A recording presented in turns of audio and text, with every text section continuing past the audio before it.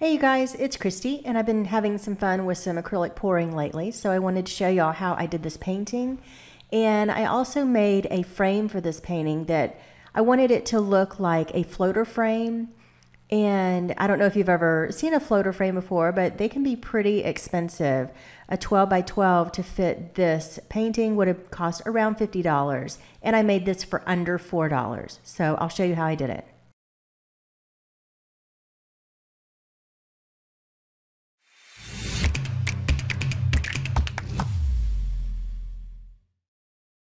So this was my third pour of the night, and that's why my space looks so messy. But anyway, I used four different kinds of paint for this. I used Artist Loft, Liquitex Basics, Deco Art, and Golden. And then I also mixed all of them with Floetrol and then layered them into my cup and then just began to pour all of the paints randomly onto the canvas. I think I used about a cup and a half of paint in all. And then I used my torch to get all of the bubbles out and then just kind of let it sit there for a few minutes. While it was sitting, I used some of the spare paint to cover the corners. Any paint that is put on the corners at this point is almost completely sacrificial. It's it helps the paint to move around easier, but it will be pushed off of the canvas. So it really doesn't even matter what colors you use.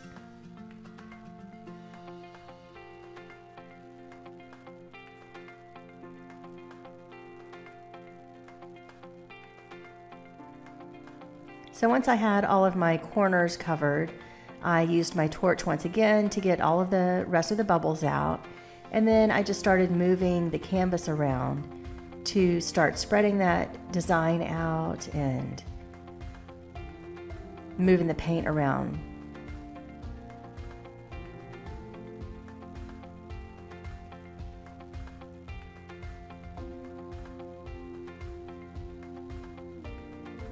I really started loving how it looked at this point. It looked like a an avalanche or I don't know, it just reminded me of winter and cold ice and maybe a snowstorm. I don't know.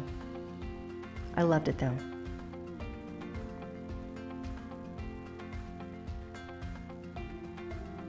So about this point, I was pretty satisfied with how it looked. So I left it like that to dry.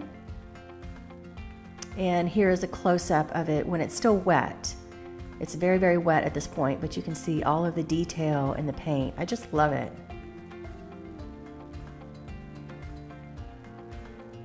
One thing I love about this form of art is that it's basically the art of chemistry and physics.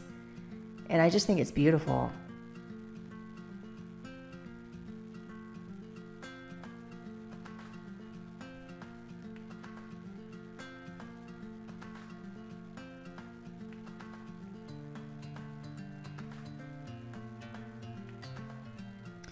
So after letting it dry, then I was ready to make my frame. And the way that I did this is I started with a one by four and on my table saw, I ripped that down into quarter inch wide pieces.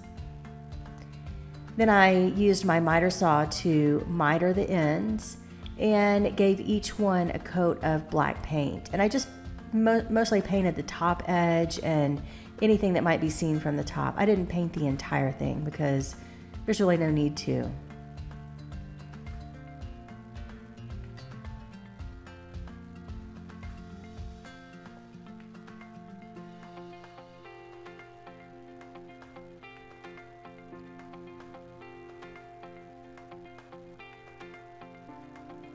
And once all of those pieces were painted and dry, then I just put them on the edge of the canvas and nailed them into place using my little 18 gauge nail gun.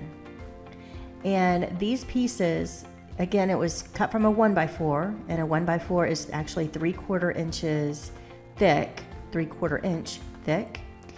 So the edge of the canvas is one and a half inches thick. So this only covered half of the canvas.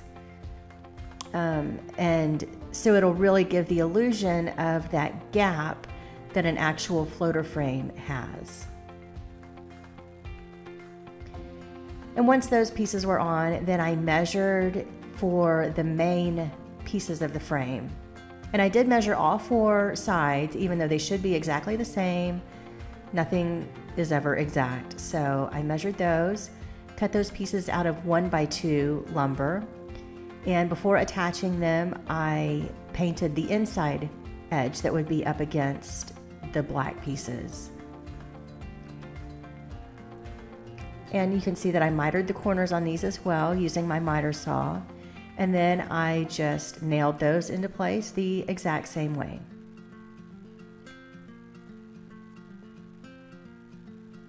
And I was able to cut all of these pieces out of one one by two by eight foot piece of lumber with extra left over.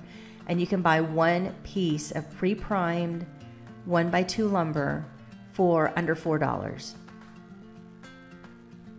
And next I just use some wood filler to fill in all of the little holes.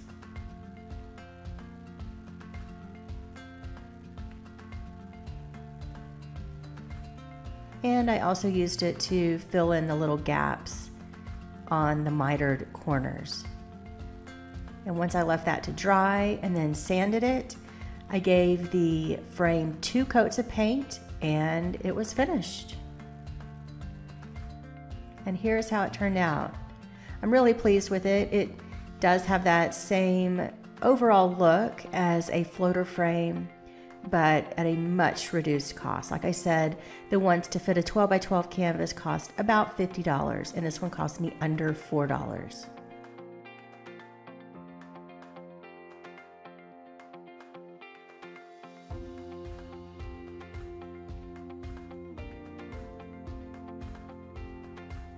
Thanks so much for watching. Be sure to hit that subscribe button and hit the little bell next to it so you'll be notified every time I upload a new video. And of course, you can always find me and my latest projects over on addicted2decorating.com. See you next time.